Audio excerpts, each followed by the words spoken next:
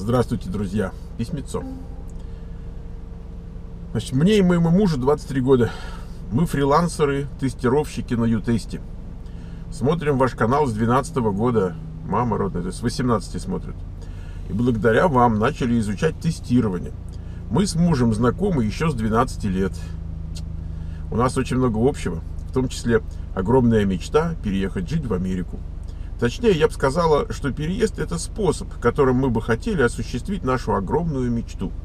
В 18 лет мы занялись бизнесом, открыли салон по продаже э, окон и дверей и заодно учились в университете. Нам никогда не доводилось работать на кого-то, мы всегда стремились к финансовой независимости. И у нас были грандиозные планы относительно своей жизни. Но когда настала война, мы были вынуждены приостановить свою частную деятельность и стали искать что-то новенькое – так и попали на Ю-тест. Я только не понял, где они живут, правда. Так. Играем два года в грин-карт лотереи, но безуспешно. Прекрасно понимаем, что переехав в Америку, нам будет необходимо поработать по найму.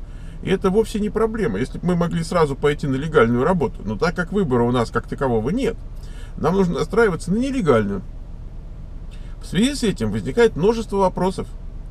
Получается так, что мы хотим поменять страну на ту, в которой работают и соблюдаются законы, на ту, которая в корне отличается своими ценностями от нашей, и вдруг, чтобы начать жизнь в Америке, ребятам, которые стремятся жить честно,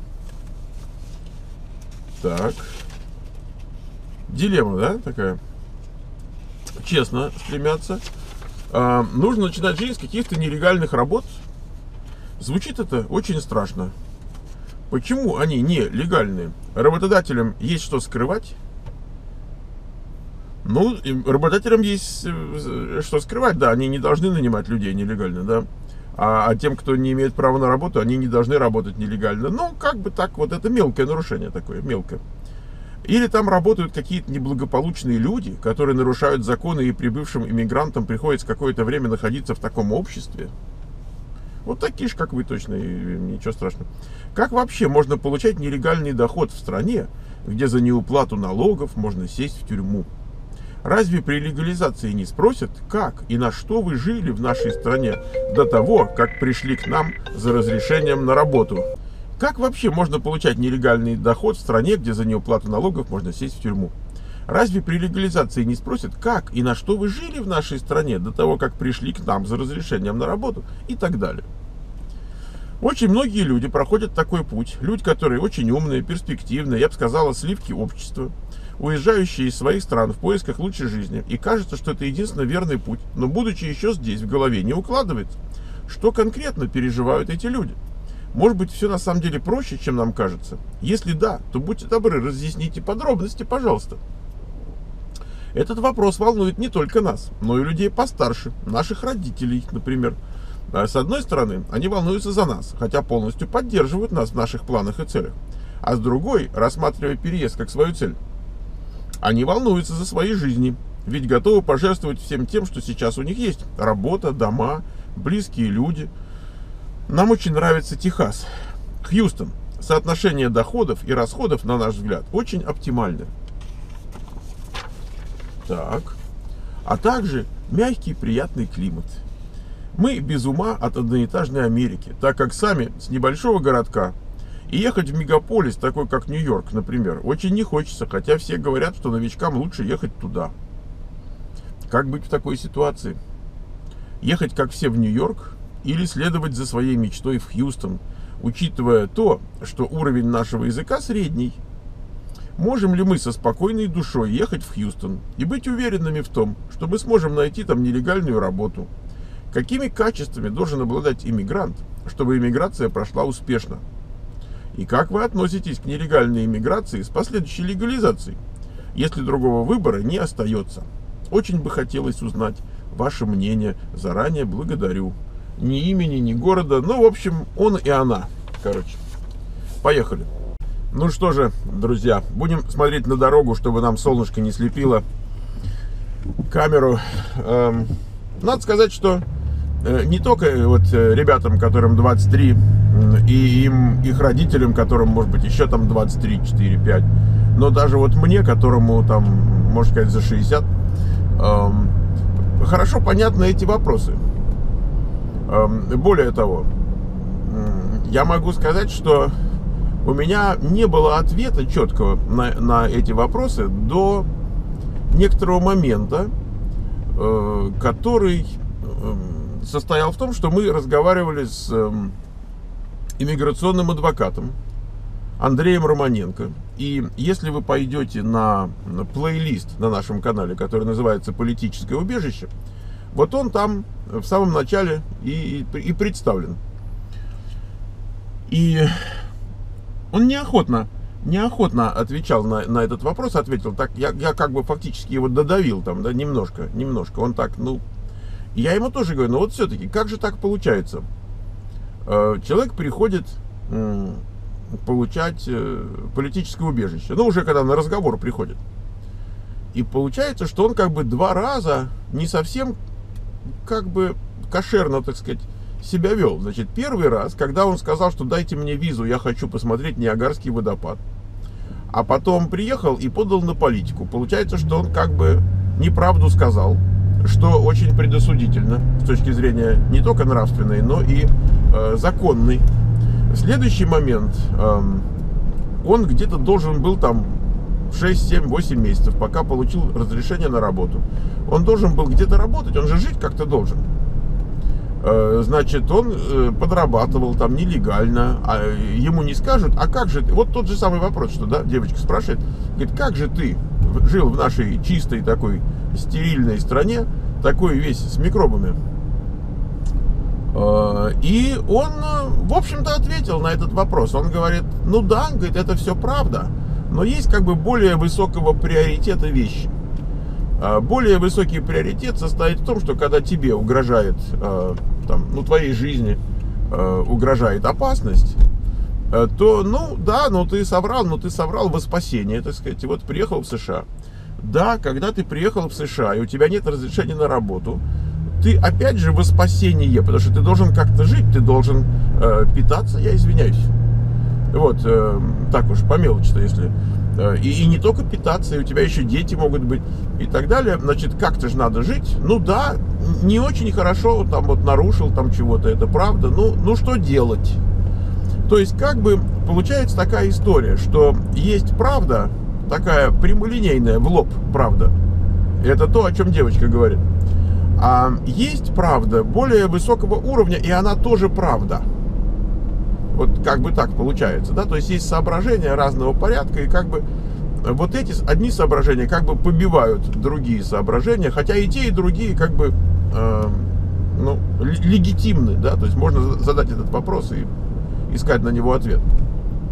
Значит, э, с точки зрения налогов и с точки зрения работы без разрешения, значит, нелегальность состоит в том, что нет разрешения на работу вот в этом, да, когда что там нелегально? Нелегально работать без разрешения. Нелегально нанимать людей без разрешения.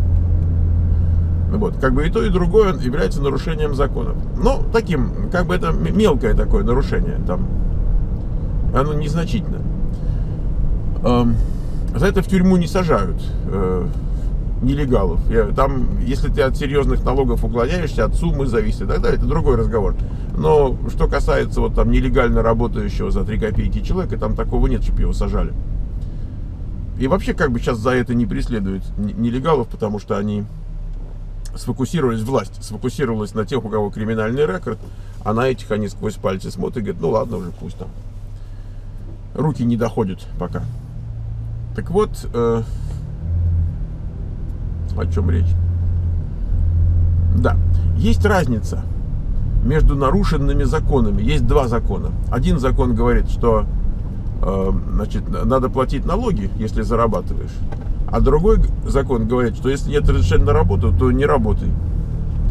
Есть два закона. Так вот, э, закон, который э, о том, что надо налоги платить, он гораздо более суровый. В том смысле, что неуплата налогов это гораздо более серьезное нарушение. Э, поэтому каждый человек, находящийся в стране и не имеющий права на работу, может обратиться и получить номерочек такой. Он типа Social Security, но это не Social Security. Называется Tax ID number. Taxpayer ID. Вот, вам дают этот номерочек, и вы платите себе налоги. э, тем самым вы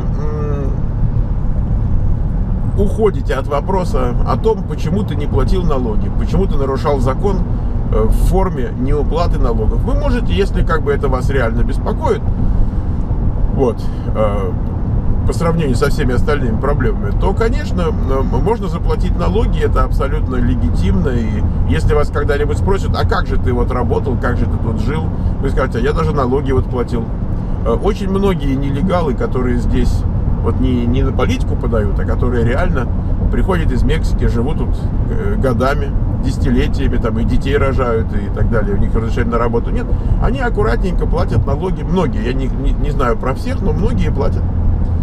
Да. Эм, у меня вот студенты были, на, брали их на проект на один, ну это уже давно было.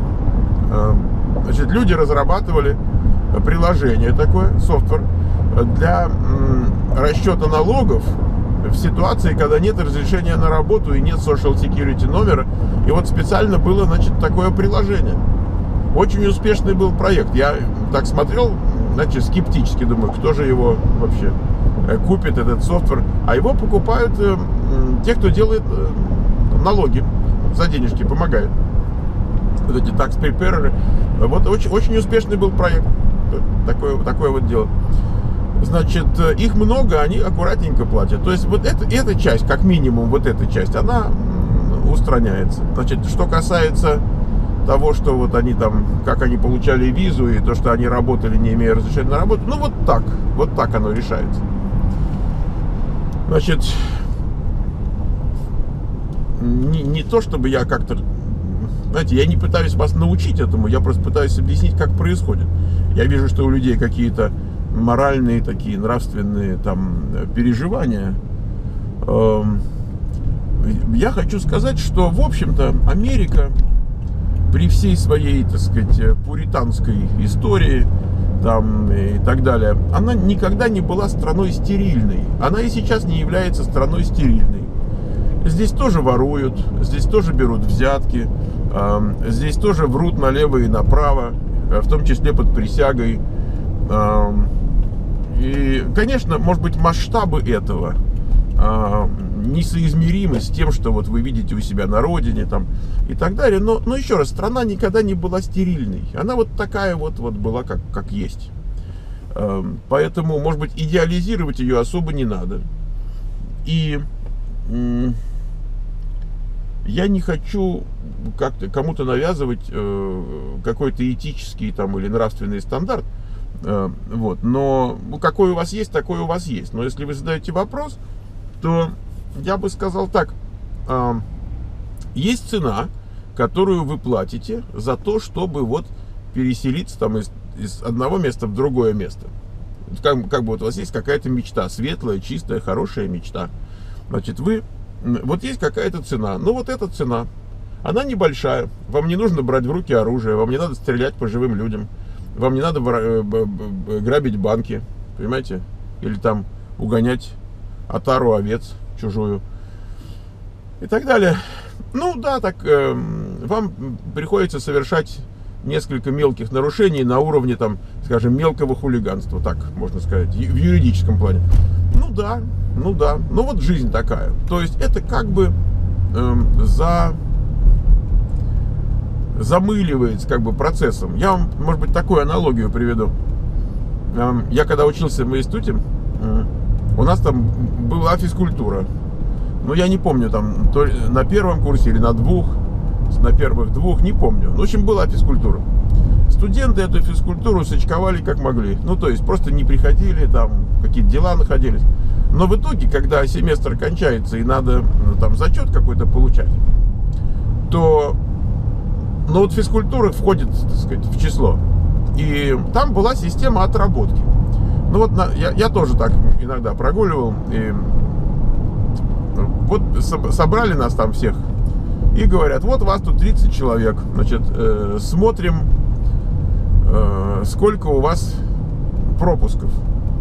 И говорят, вот минимальное количество пропусков там, допустим, у Сидорова, э, это там 12 часов он пропустил. Значит, мы амнистируем 12 часов всем, кто есть, кроме Сидорова. Сидорова отпускаем. Так, и говорю, иди отсюда, Сидоров. Значит, мы твои 12 часов берем и амнистируем всех на 12 часов. А все, что больше 12 часов, будьте любезны, вот, значит, отработать. И там журнальчик специальный заводится, и вот туда. Э, к чему я это рассказываю? Действительно, пропустить 12 часов занятий, это нехорошо. Это не, ну, ну понятно, что нехорошо. Не это нарушение. Это нарушение правил, законов, по которым работает учебное заведение, страна, там, коммунистическая партия там, и так далее. Товарищ Брежнев. Это нехорошо. Но э, амнистируется. Понимаете? Вот то же самое происходит с теми нарушениями, о которых вы говорите. Да, это нарушение, да, это то, да, это все. Но с учетом всего остального, что там есть, кроме вас, какие там еще проблемы бывают, а, вот, где и воруют, и, убивают, и наркотики таскают, и, боже мой, чего там только нет, вот эта вот вещь амнистируется. Не, не амнистируется на уровне закона, который говорит, всем амнистия, значит, там могут идти по домам. Нет, но на практике амнистируется. На практике они закрывают на это глаза и говорят, заходи. Вот Сидоров, вот тот Сидоров, которого отпустили с 12 часами прогулов, вот так же точно вас э, отпускают. Да, в целом мне нравится, что вы такие законопослушные, и как бы это все, это очень здорово, это качество, которое вам здесь пригодятся. Вот, ну, как бы такая игра. Хьюстон. Ну, я честно скажу, э, такой мечты, как жизнь, жить в Хьюстоне, например, я понять не могу. С другой стороны, э, у меня, например, была мечта, вот в ваши годы, у меня была мечта жить э, в Австралии, в городе Аделаида. Если вы меня спросите, Миша, а почему Австралия и почему Аделаида, я не могу сказать ничего разумного, так сказать, в поддержку этой позиции. Но вот она была. Я никогда не был в итоге в Австралии, я никогда не посещал Аделаиду. Я только песню написал там про это дело. Там вот такую заунывную, там город сынов моих Аделаида. Вот, но понимаете как, она такая шуточная больше была эта песня. Э, э, вот, может быть, у вас такая же мечта о Хьюстоне, там, я не знаю. Я против Хьюстона абсолютно ничего не имею. Но если вы из, из деревни, там, из маленького какого-то населенного пункта, э, значит, Хьюстон не село, абсолютно не село. Вот, э, и э, я бы его к одноэтажной Америке бы не отнес, конечно. Но если в пригороде, конечно, да. Но в пригороде, в пригороде Нью-Йорка вы тоже можете оказаться в одноэтажной Америке, если в пригороде. И совершенно как бы не обязательно знаете, э, всю жизнь прожить там, где поселился в Америке первый раз.